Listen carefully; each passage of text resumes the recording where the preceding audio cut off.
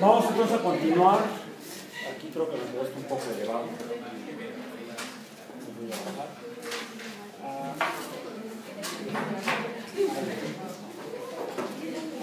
Ahí está. Bien, la, esto es lo que vimos la, la clase pasada. Sí, 19 de febrero, sí, ¿verdad? Viernes. Eh, eh, que vimos las propiedades y leyes físicas de, la materia, de los estados de agregación de la materia. Hablamos de los sólidos, los líquidos y los gases. Y llegamos a eh, conceptos como el de presión. La cual definimos como fuerza entre A es igual a Bien. ¿Qué son las presiones parciales? Fue algo que no mencioné. Los gases ionizados dijimos que son gases, eh, no son plasmas, los plasmas son gases ionizados. Eh, hicimos algunas actividades para ver las diferencias y similitudes entre líquidos, gases y sólidos. Vimos que los, gases, los líquidos y los gases fluyen, los sólidos no siempre, depende de cómo estén agregados, cómo estén juntos. Eh, vimos el efecto de unos en otros, vimos que se pueden juntar o mezclar. Eh, y dentro de eso, bueno, ahí está la clase ya grabada, eh, salió un concepto que fue un concepto ya antiguo, déjenme ver si acaso puede ver aquí. Es que esta cosa está. Ah, ya sé. Es que estoy conectado a través de mi, de mi propia red. Si no, luego les- ahorita les digo que, cómo lo hacemos. A ver si puedo conectarme. A ver a cuál red está disponible, no conectado. Wi-Fi. A ver si la red One funciona. A ver si funciona. Es más, cuando hemos transmitido por Ustream ha sido gracias a la conexión por red WAMI. Eh, dice que sí, nada más que supuestamente debería yo. Eh, ¿Cómo dice? Este, cuando uno quiere entrar a la red, aquí, ah, pues autenticarte. De repente hablan raro los informáticos. Este, dicen inicializar cuando hay que iniciar el verbo. ¿no? Entonces aquí sería yo.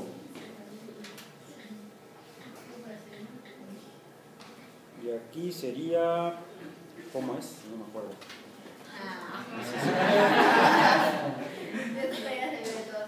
Sí, se ve encima de mí.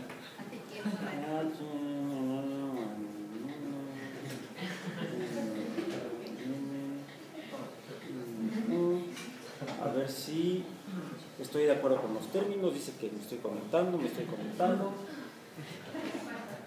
Por favor, espere. Logging in. Ahí va, ahí va, ahí va, ahí va, ahí va, va. Ya mero, ya mero. Ni tres años más.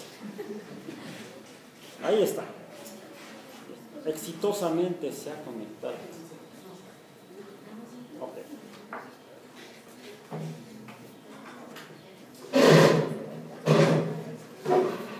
¿Qué onda? ¿No está yo conectado?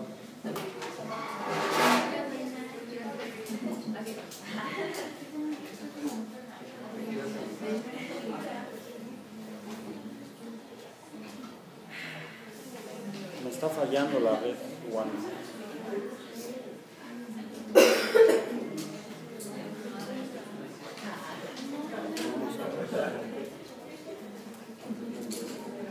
O sea, son algunas mira.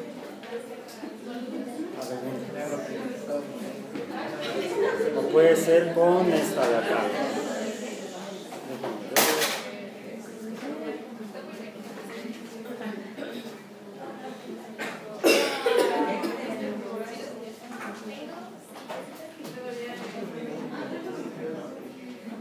Déjame ver. nada más.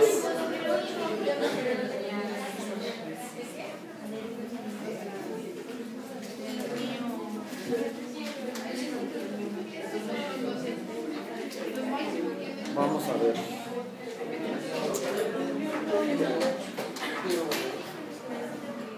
Según se había conectado, tenemos que pasar toda la clase tratando de conectarnos. Yo espero que no. Va de nuevo.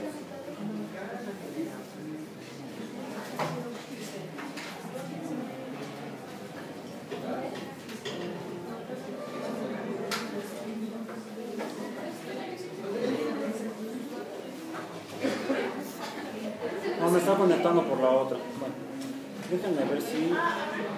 Vamos a verlo brevemente. Entonces por acá.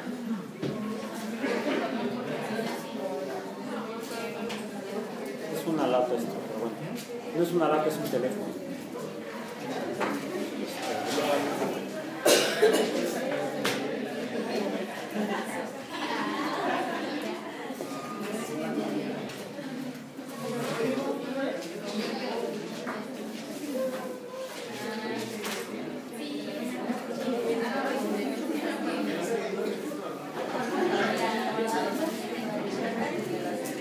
Con, búsquenlo con él. Aquí está. Ya lo encontré. Rápidamente.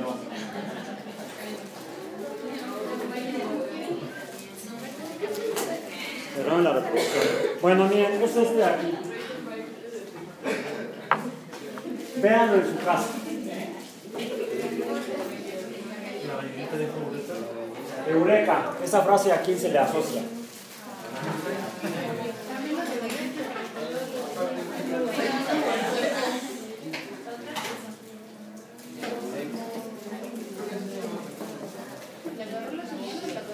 Arquímedes. ¿Eh? Dicen, dicen que dijo, dicen que dijo, eh, y eso no estaría en este libro, sino que estaría en este otro libro, en, este que está aquí. Este libro de hecho se llama De Arquímedes a Einstein. El autor es Manuel Lozano Leiva. Es un libro de, sobre física, pero con un enfoque de tipo histórico. ¿Sí? Arquímedes es el principio fundamental de la hidrostática y dicen que este, es más una, una- es un supuesto retrato de Arquímedes. En realidad no existe formalmente un retrato de Arquímedes pero otra representación que hay de él es esta en la bañera. Cuando se sumergió en la bañera y Ay, mira, no, así ahora sí flota. ¿Sí? Y este es el refresco light, que fue el experimento que al final de la clase pasada no, no, no, no me funcionó. Bueno, ahora no, yo quería que no funcionara y sí funcionó. Como se dan cuenta, este, ambos flotan. ¿Por qué? Es que cuando venía yo para acá venía ya a prisa porque se me hacía tarde y entonces el refresco se agitó, que fue lo que intenté hacer con el otro. Este lo compré hoy en la mañana. ¿Sí? Entonces le decía que el otro ya estaba muy viejo. Y de hecho sí se echa a perder ese líquido de allá adentro. ¿sí? Tiene azúcar y como azúcar es un medio de cultivo para microorganismos. Entonces probablemente eso ya sea más venenoso que de manera natural. Este, o más, no es venenoso, más bien todo este, infeccioso. ¿sí? Sería biológicamente tóxico. Aún así lo que vemos es que flota un poco más arriba la lata light que la lata otra. ¿sí? Sale un poco más de la superficie del líquido. Debido a que este sería menos denso el light que el refresco heavy, diríamos, que opuesto. Sí, lo opuesto del light es heavy. Ya sabes, vas a tomar una coca, light, no, heavy. ¿sí? Entonces ya saben cómo pedirla. Si la agito más, que fue lo que intenté hacer con la otra,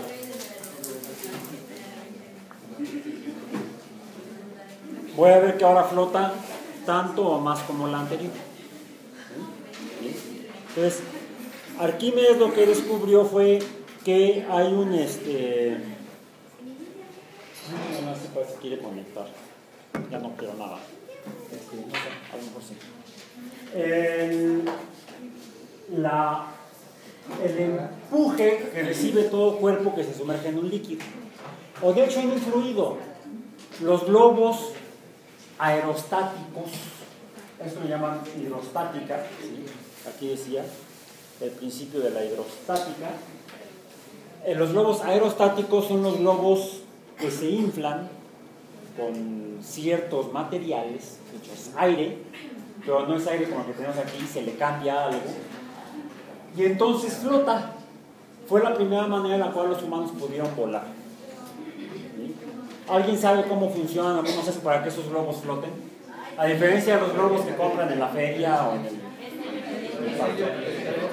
Con aire caliente. Mientras que los globos que compramos regalan se regalan, los regalan al niño, este, son globos que tienen un elemento químico que se llama helio, que es un gas, que flota sobre el aire, igual que flota esta lata por encima de la superficie del agua. ¿Bien? Entonces, el principio de flotación o de la hidrostática o de la aeroestática parte del descubrimiento de Arquímedes que lo que dice es que todo, él decía todo líquido ejerce una, un empuje, algo que empuja al objeto para que flote. Y ese empuje es proporcional a el peso de, o la, más que el peso, la, la, la masa desplazada.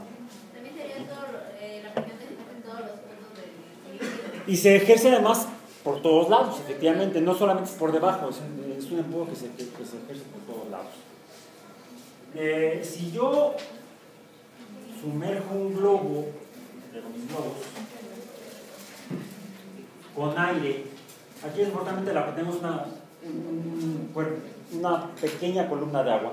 Si tuviéramos una columna de agua más grande, nada más voy a inflar así el globo, poquito, muy poquito, porque lo que quiero es sumergirlo en el... De entrada va a costar trabajo sumergirlo. ¿Por qué? La masa que hay de aire en el globo más el látex es equivalente al líquido desplazado, un poquito. Si yo lo sumerjo, bueno, lo bueno es que mi reloj es sumergible, Aquí no se aprecia mucho, pero si la columna fuera más grande, el globo se comprimiría. Eso significa que es equivalente a que yo le haga esto. Además, que es el hecho de que la, esa fuerza, ese empuje, o porque que está provocando que cambie de posición, que no se lo está deteniendo, lo está impidiendo que gravite, entonces sería una fuerza una fuerza opuesta a la de gravedad. La fuerza de empuje que descubrió Arquímedes como fuerza hidrostática, empuje hidrostático, fuerza hidrostática, es opuesta a la fuerza de gravedad.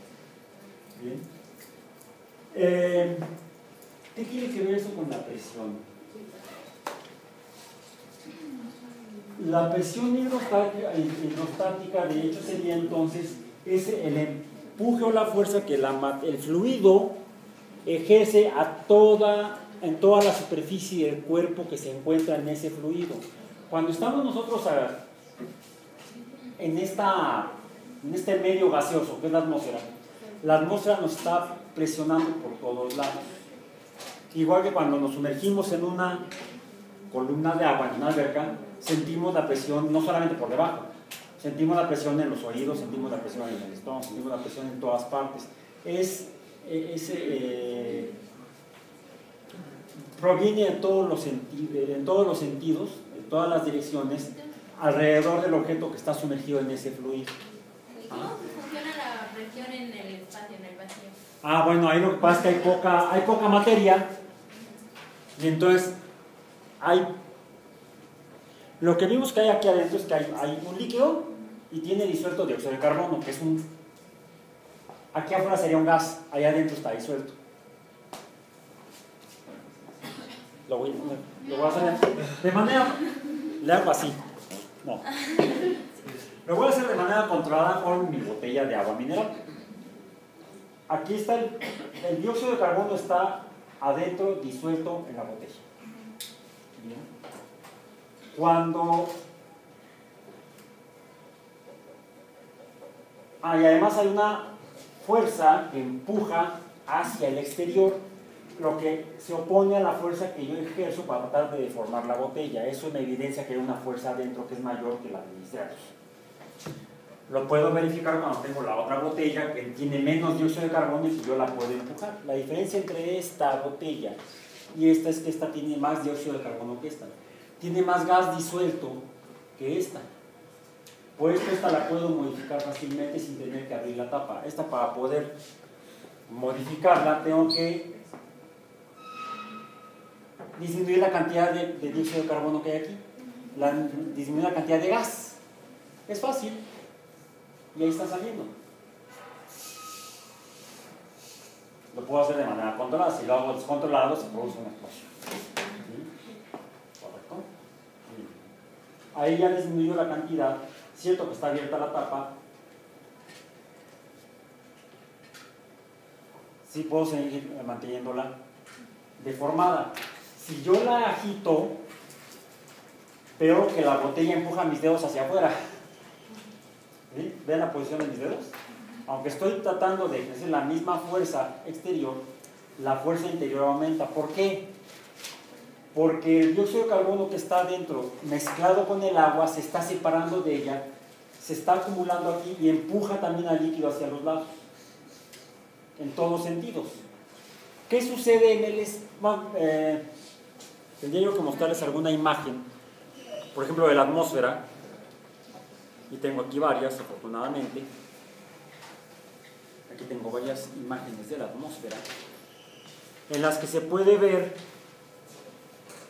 respecto a la altura, como la atmósfera de la Tierra, por supuesto, ¿no? Aquí podemos ver la atmósfera de bueno, es una, una animación, no es real, este, no es una fotografía. Esta sí es una fotografía, esta es la atmósfera de Marte. ¿De qué color se ve? Roja. Por la composición de los, de los gases en la atmósfera de Marte. Si yo veo la atmósfera de la Tierra, aquí está, ¿qué es lo que veo? Que abajo se ve azul y arriba se ve negro. Y de hecho el azul va como difundiéndose. Porque aquí hay más aire o más gases que acá arriba. Decir que conforme me alejo de la superficie de la Tierra, la cantidad de materia gaseosa disminuye, hasta que acá arriba es muy, muy, muy escasa. Si el gas es el que empuja, si el gas es el que ejerce una fuerza sobre las paredes y las paredes tienen un área, si yo tengo un cuerpo y tengo una superficie, entonces ese gas va a estar ejerciendo presión sobre mi cuerpo. Por supuesto, mientras más materia haya, pues mayor presión hay. Lo sienten cuando entran al metro en horas pico, ¿verdad? Hay presión por todos lados, entonces... Cuando disminuye la cantidad de materia alrededor, en horas no pico, hay menos materia y menos gente, disminuye la presión igual. Cuando disminuye la cantidad de gas hasta ser extremadamente pequeña la cantidad de gas, ¿qué sucederá? Con la presión disminuye hasta... Ah, bueno, a ver, ¿cuánto disminuye? ¿De qué depende la presión finalmente? Ahí ya pues, de la fuerza entre el área. ¿Pero qué es la fuerza? La fuerza es masa por aceleración. ¿Aceleración masa de qué? De los gases. Esa sería la masa gaseosa. ¿Y la aceleración de qué? A ver, sigamos con los gases, sigamos con los globos. Eh, a ver.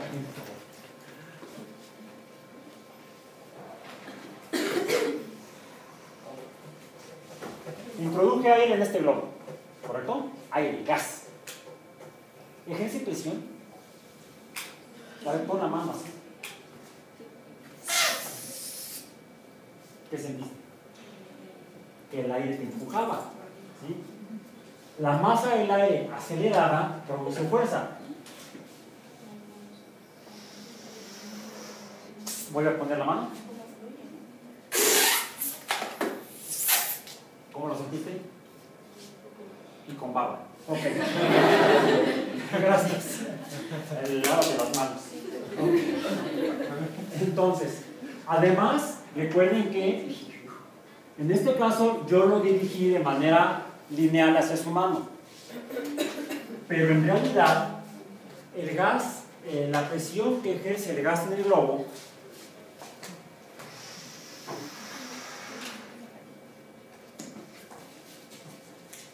¿qué dirección tiene?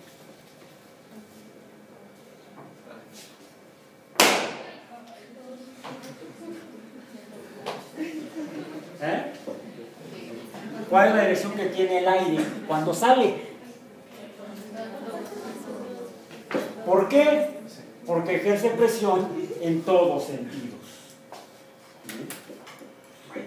Entonces, finalmente la presión puede se ejerce en todos sentidos porque viene de todas las eh, direcciones, pero podríamos direccionarlo. Como cuando yo empujo el globo y sale el aire solamente por la boquilla. Entonces puedo ejercer una presión sobre un área específica que sería el diámetro de la, de la luz del, del orificio de la boquilla del globo. Pero si no está direccionado o si es multidireccionado, la presión es, eh, viene de todos lados, la fuerza neta es cero y se movería el objeto.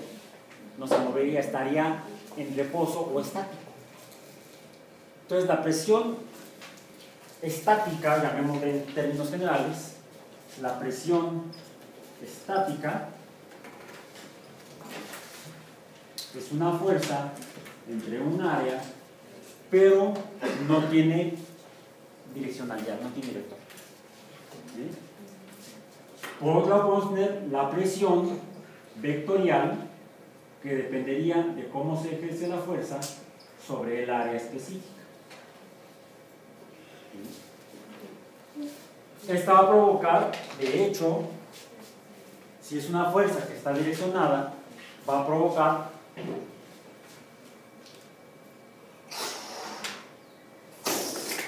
inicialmente el globo se mueve para allá. ¿Por qué se regresó o empezó a dar vueltas? Porque hay aire alrededor y ese aire ejerce presión en todas direcciones.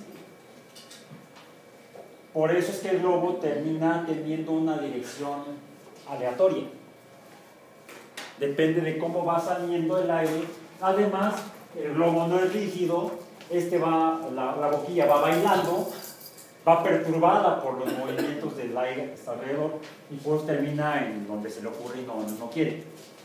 No, no se le ocurre, donde aleatoriamente es cada uno de los vectores dominantes lo empieza a desplazar. Ok. Eh, entonces, eh, ¿qué sería la presión parcial que vimos en el texto? ¿Qué sería la presión parcial? P P. La presión parcial sería entonces, finalmente, que está ejerciendo fuerza sobre las áreas de esta botella. El dióxido de carbono, ¿y qué más? Pues igual que en esta, pues aquí hay una fuerza que ejerce el agua sobre las paredes. Entonces, parte de la presión que se ejerce sobre las paredes de esta botella es consecuencia del movimiento de las partículas de agua y otra es por consecuencia del movimiento de las partículas de dióxido de carbono. Más también tiene oxígeno, tiene nitrógeno, tiene todos los componentes que se encuentran en el aire atmosférico. Entonces, la presión parcial dependería, y lo vamos a poner mejor así, sería la correspondiente a cada uno de los componentes de una mezcla de fluidos. Sería la presión que ejerce en este caso, por ejemplo, el agua, más la presión parcial que ejerce el dióxido de carbono, vamos a ponerle D, más la presión parcial del nitrógeno, vamos a ponerle N, ¿sí? Más la presión parcial del oxígeno que también está disuelto, todo esto sería la presión total sobre las paredes del recipiente que tiene el agua mineral. Entonces la presión total sobre estas paredes depende de la fuerza que ejerce cada uno de los componentes que tiene esa mezcla. Cada uno tiene una masa y cada uno está en movimiento diferente. ¿Cuál tendrá mayor fuerza? ¿El gas dióxido de carbono o el agua? ¿El agua? ¿Como presión? Este tiene menos dióxido de carbono y este tiene más. Tiene prácticamente la misma cantidad de agua. Y la diferencia es notable. ¿A qué se debe la presión? La mayor parte de la presión, en este caso, se debe al gas dióxido de carbono. Entonces la presión parcial de cada uno de ellos depende de su actividad, de cómo se muevan, de cómo bailen. Este, ok. Entonces depende de la aceleración de cada uno de ellos. Es decir, la presión, la presión de A será igual a la fuerza que ejerce A sobre el área, pero esta fuerza depende de qué? De la masa de A, es decir, depende de cuánto haya. Mientras más dióxido de carbono, mayor sea la presión.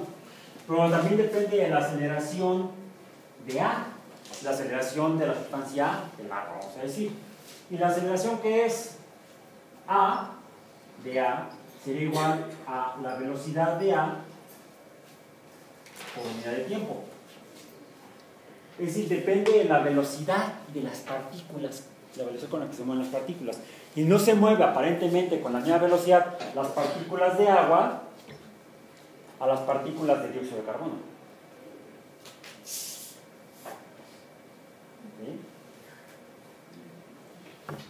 Es decir,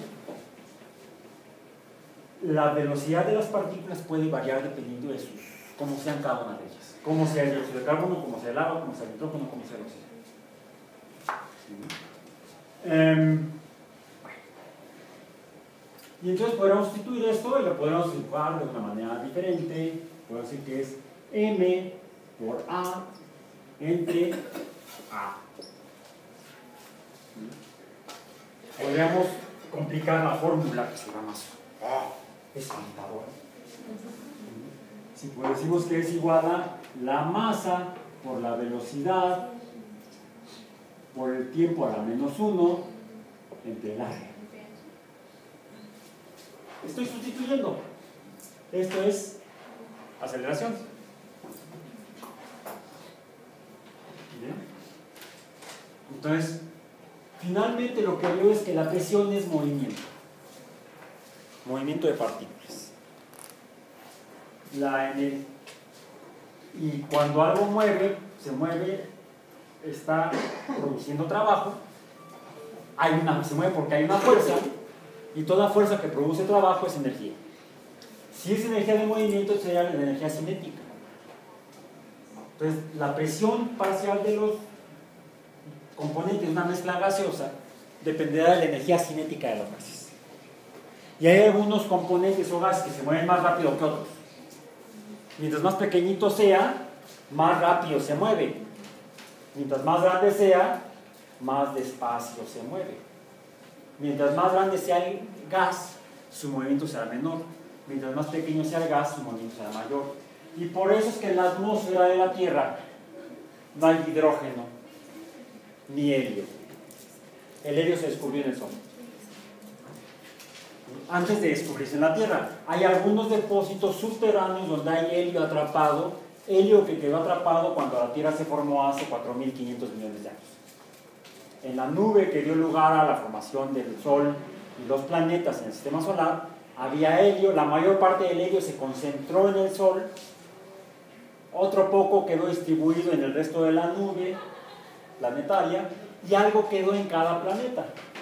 Quizá el que se llevó más fue tal vez Júpiter y la Tierra quedó un poco para que los niños inflen sus globos. 4.500 millones de años después. Entonces, eh, todo esto para que los niños sienten globos, ¿no? Bueno, este, entonces estamos hablando de movimiento, movimiento, energía. Y cuando las cosas se mueven, cambian diferentes cantidades. Eh, por ejemplo, cuando estábamos viendo que cuando algo cambia, algo se desplaza, se produce una fuerza que produce un desplazamiento, entonces esto sería trabajo. Se produce trabajo, Toda fuerza que produce un cambio de posición de algo, se produce trabajo. Y los gases pueden producir trabajo. Cuando yo dejo escapar el aire del globo, el aire produce el trabajo de desplazar el globo. Entonces, los gases en movimiento pueden provocar, producir trabajo. Eh, ajá. Pues sí, porque el desplazamiento va a depender de la fuerza y la fuerza depende de la aceleración y la aceleración depende de la velocidad y la velocidad depende del tiempo. Y finalmente, la última fórmula que nos faltaba reducir con llegar a, todo esto es la fuerza de la, fórmula de velocidad o la definición de velocidad que es de x es de t. Recordemos que todo esto son vectores. ¿Ah?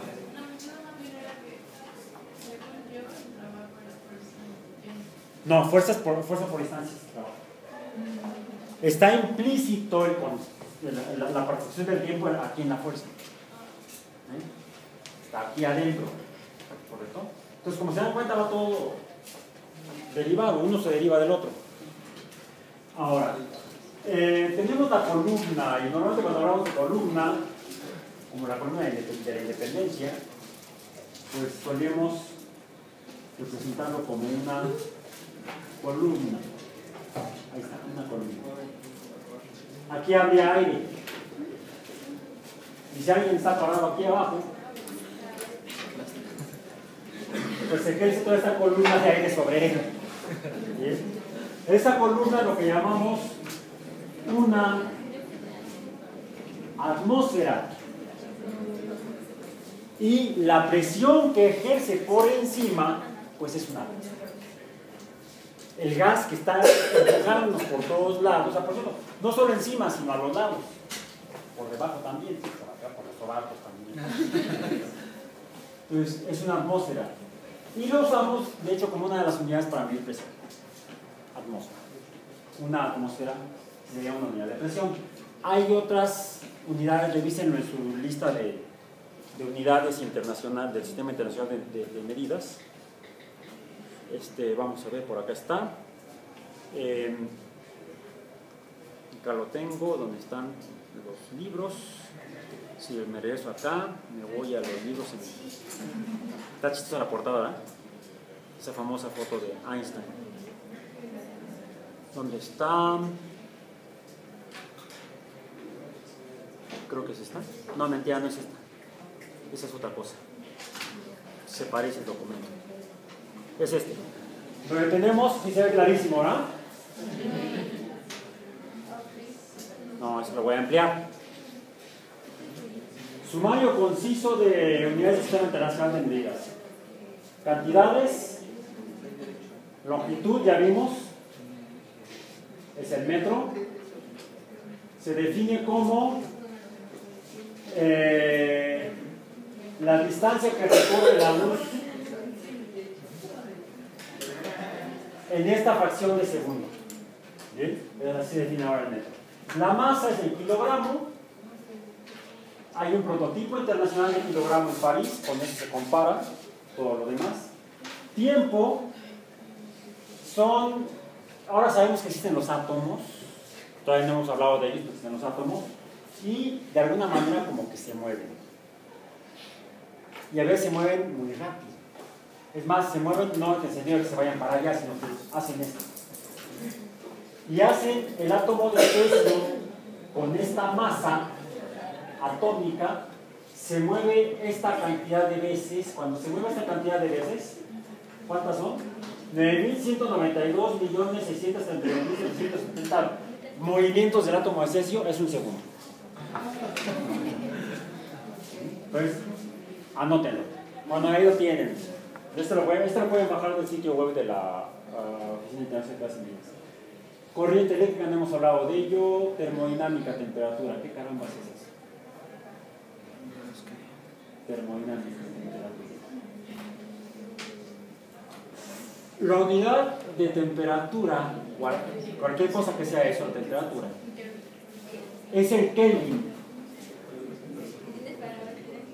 Eh, y se define, hasta ahorita está por cierto en proceso de redefinición en la unidad de temperatura, o la cantidad específicamente, no la unidad, sino la redefinición de la cantidad, eh, como el punto triple del agua, que es esa gráfica que vimos, en la cual, en la cual coexisten cuando esto se actualiza, se actualiza. Coexisten los tres estados de agregación, por. Ahí está, de la materia. Entonces, cuando coexisten a presión de una atmósfera, los tres estados de agregación de la materia, a eso consideramos el cero en la escala Kelvin. No mentira, el no. El cero la escala Celsius, que equivale a 273.16 grados Kelvin. 273, que fue la cantidad que vimos hace rato, 273.16 grados Kelvin, que serían 0 grados Celsius cuando existen a presión de una atmósfera, esa mezcla de gases terrestres. Eso es como se define el punto de referencia respecto a lo que sea la temperatura. ¿Pero qué es la temperatura? ¿Qué es la temperatura? Eh, un favor, este, por acá un hombre fuerte, o no sé si fuerte, un hombre aquí. Ven por acá, no. Más bien échame dos, dos manos, préstame tus dos manos. Deja aproximadamente dos dedos de agua.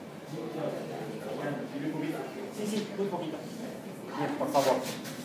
Porque vamos a ver algo que tiene que ver con esta definición que vamos a escuchar acá. Bien. Entonces, los, ¿cómo existe el, el agua en la naturaleza? depende de esa cantidad llamada temperatura y depende de esa otra cantidad derivada que se llama presión sobre la presión de todos los gases que se encuentran en esa columna que llamamos atmósfera. En esa atmósfera tenemos nitrógeno, tenemos oxígeno, por cierto es un 70% de nitrógeno, un 20-21% de oxígeno, y el resto son otros compuestos como vapor de agua, dióxido de carbono, metano.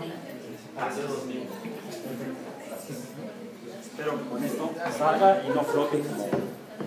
Espero que no floten las cosas. Bien, aquí lo que tenemos es otra vez el agua. Y tengo aquí, por cierto, medidores para temperatura. Así como usamos el flexómetro para medir el eh, la longitud, usamos la balanza para medir la masa, usamos el, cronómetro para medir el tiempo, usamos el termómetro para medir temperatura. Termómetro, debe ser temperómetro, ¿no? Pero bueno, llama termómetro. Y tiene aquí una escala, que es la escala de Celsius, la que vimos hace un momento. Esto me dice el valor de temperatura, por favor, el valor de la temperatura es una cantidad a la cual no debemos llamar cantidad. Porque no podemos hablar de la cantidad de temperatura. Porque de hecho la temperatura es un número que nos habla de otra cantidad. ¿Bien? Aquí me está, me está dando ahorita, antes de que lo metan el agua, me está dando un valor de, anoten, 21, 21 grados Celsius. Lo voy a poner aquí en el agua. Y está marcando una temperatura ahora de...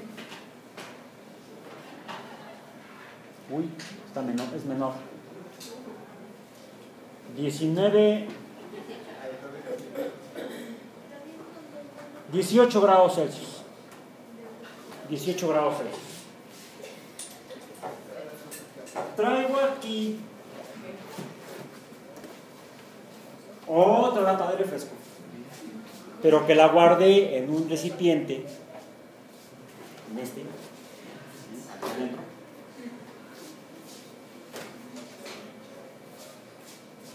Este no lo he agitado, lo voy a abrir.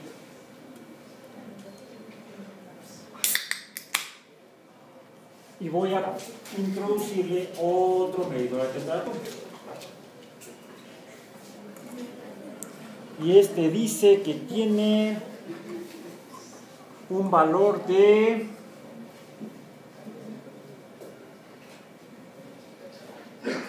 yo esperaba que fuera más bajo. Me está marcando 11 grados Celsius. 11 sí 11 yo esperaba que fuera más pero bueno más, más más bajo el número, el valor del número, el valor numérico. Y tengo acá otro que espero que no haya cambiado mucho de cuando lo metí en este otro recipiente.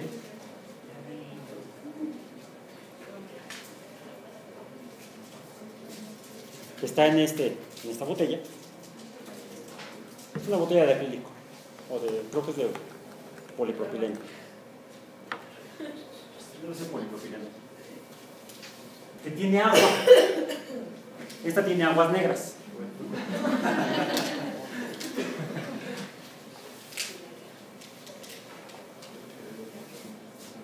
Este tiene un valor de... Ay, mamá.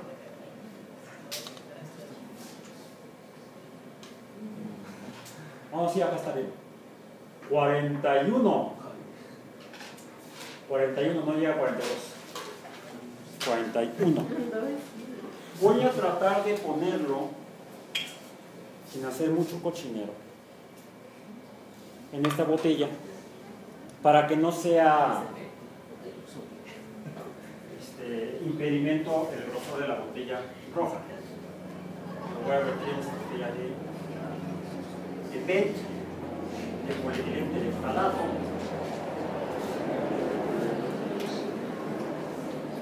¿Alguien diría que está como? Caliente.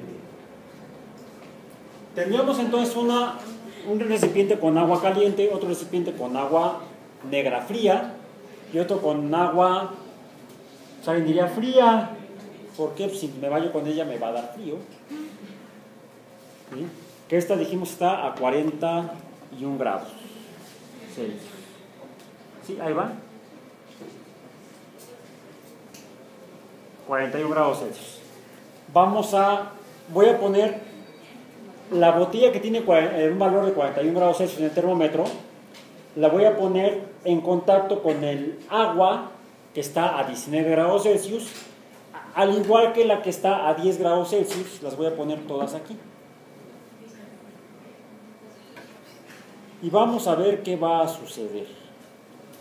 Mientras eso sucede, mientras algo sucede, espero que suceda algo, vamos a, vamos a escuchar algo. Eh, esto ya finalmente el tema que estamos, que estamos viendo hoy, retomando lo de las sesiones anteriores, estamos hablando de esto. ¿Qué es esto? Termodinámica, sistemas termodinámicos y ecuación de estado, propiedades extensivas e intensivas, ley cero. El concepto de temperatura. Estamos hablando de temperatura, pero no sabemos qué es eso. Y luego la primera ley. Ok. Me permití poner aquí un comentario, que no es exactamente un comentario, sino que es un vínculo a un video Espero que se vea. Ahora está conectando. Está conectando. Otra vez. Déjenme, le voy a quitar aquí la, el wifi que está haciendo más estorbo que ayuda. No dice que está en Red One. Ah, ya está. Ah, ya está. Ahora sí está.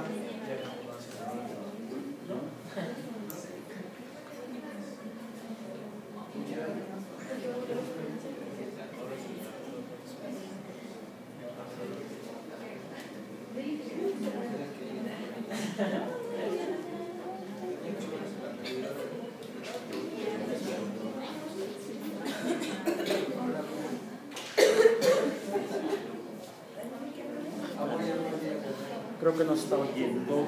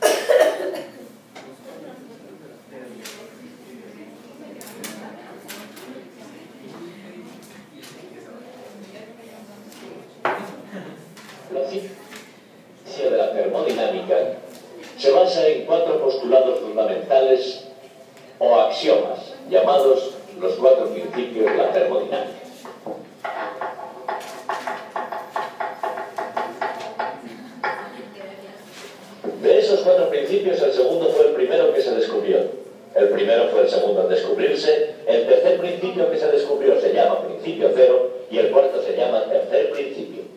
Pero todo eso tiene perfecto.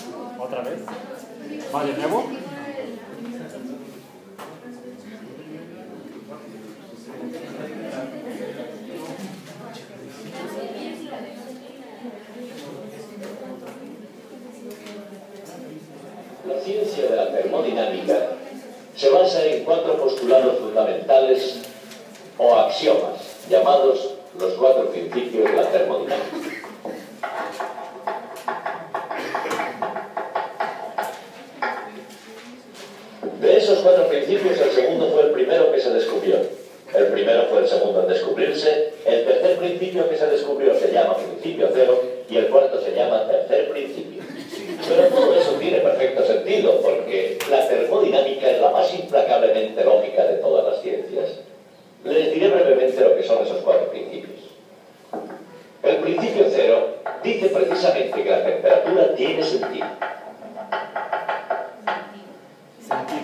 El primero es la conservación de la energía. El segundo principio es el principio de la entropía. Y el tercer principio dice que hay una temperatura tan baja que nunca se puede alcanzar.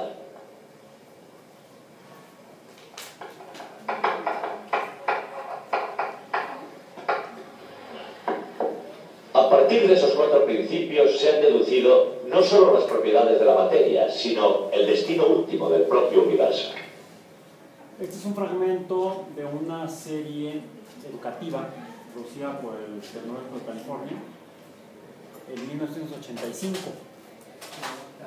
y sigue siendo muy, muy útil, producido por eh, Annenberg y este fragmento editado por su servidor. De hecho, tuve la suerte de ver esa serie cuando al poco tiempo que la estrenaron, ya hace un buen rato. Estaba yo empezando a trabajar aquí. Bien. Eh, la primera vez que salió ya al mercado después de la televisión fue en, formato beta. y de cinta de video, imagínense. Después salió en VHS y luego en DVD y así. Blu-ray, supongo yo. Este lo encontré en YouTube. De hecho, la versión doblada al español allá en la, allá en la Iberia. Por eso dije ahora el profesor Einstein, porque en realidad él, él no habla en español así. ¿eh? Él es californiano. ¿Bien? Ok. Entonces dice que la temperatura, cualquier cosa que sea eso,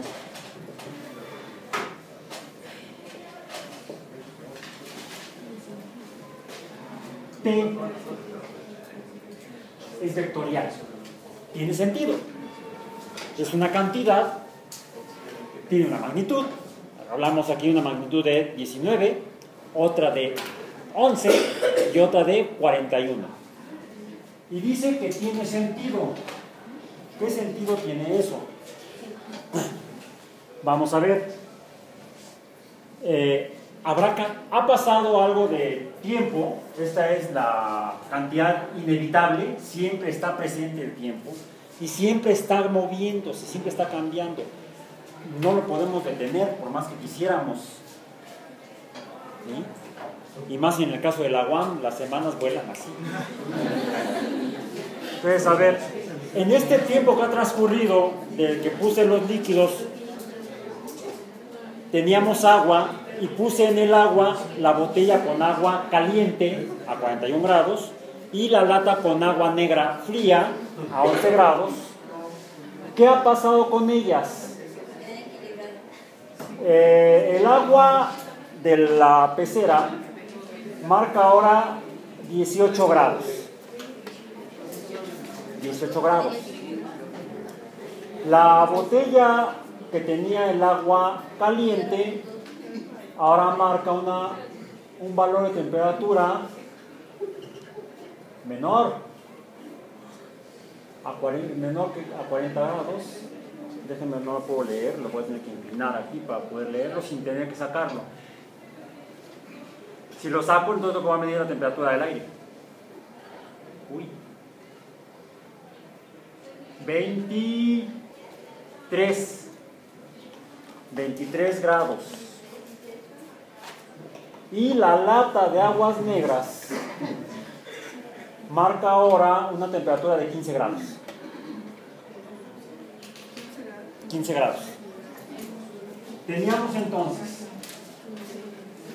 un, teníamos eh, agua caliente, inicialmente a 41 grados Celsius. Inicial. Teníamos agua a temperatura ambiente, le pongo así. T es temperatura ambiente a 19. No, 18. No, ahorita ya está 18. Cuando empezó. Ah, bueno, ok. 18. Y teníamos el agua negra. A, decíamos 11. 11. En una segunda medición de temperatura en grados Celsius, vamos a poner, esta sería temperatura inicial 0, la temperatura 1. ¿Cuánto está marcando la caliente, dijimos? 23. La de agua, temperatura ambiente? 18. ¿Y la temperatura del agua negra? 15. En lo que platicamos y escribimos esto, ha seguido transcurriendo tiempo. ¿Habrán cambiado algo más los valores? En el agua de la pecera sigue a 18. En el agua estaba caliente, tengo que verlo aquí afuera,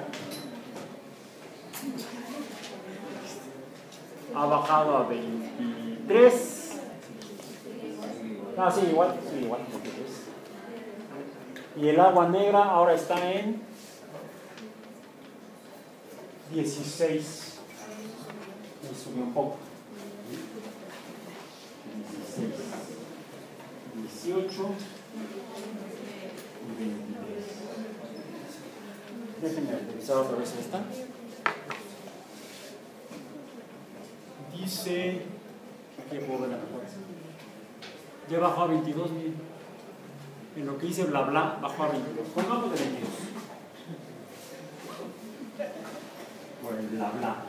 En un- una tercera lectura o tiempo 2 transcurrido desde el inicio, vemos que el agua caliente, su temperatura va disminuyendo.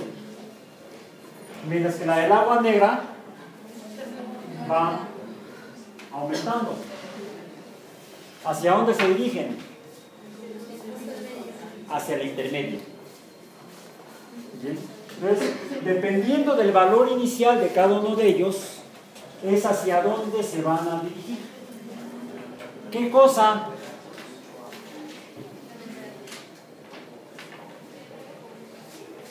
Algo que sucede cuando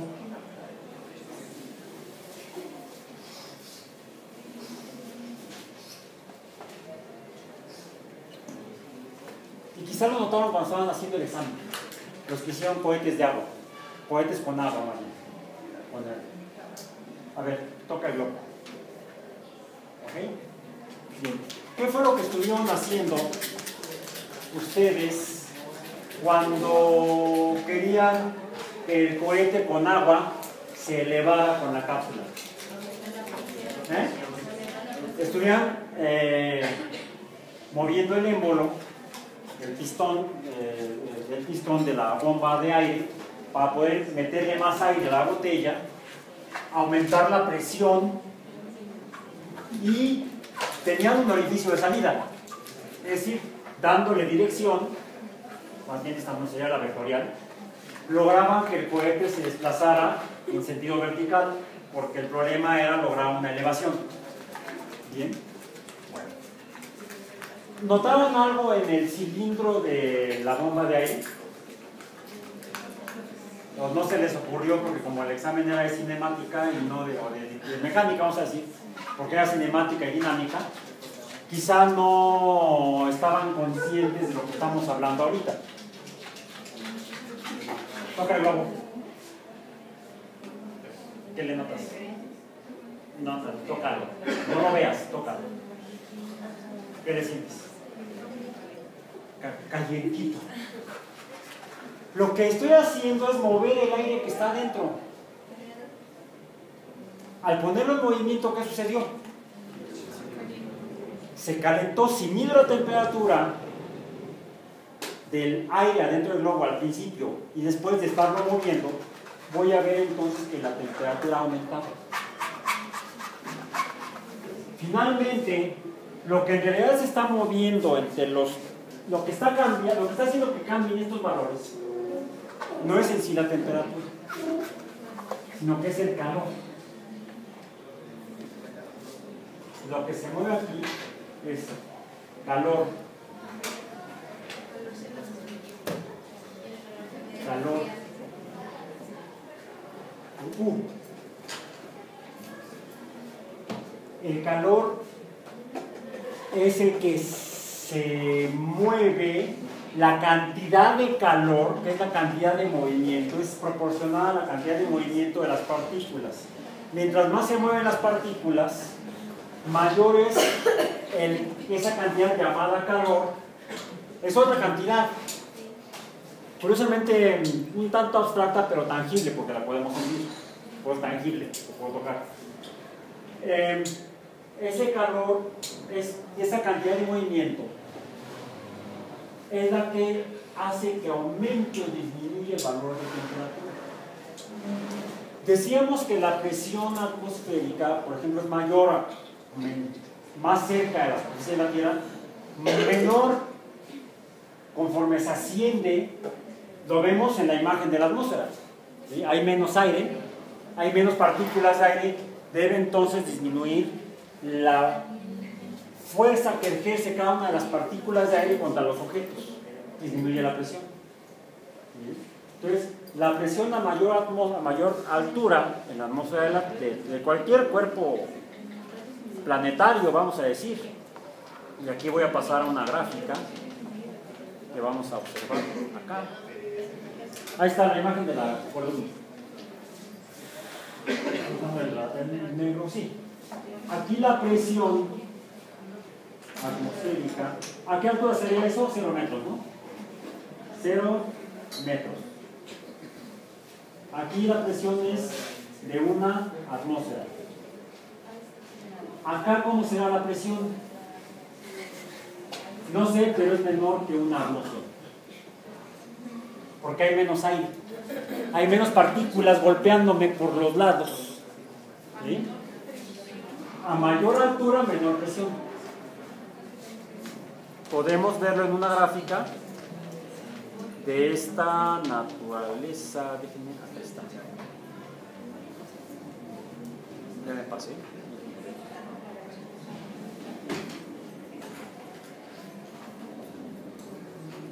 Es una creo que les va a asustar un poco esta gráfica. Eh, tal vez no mucho, espero que no mucho. Eh, ahí está. Ahí está.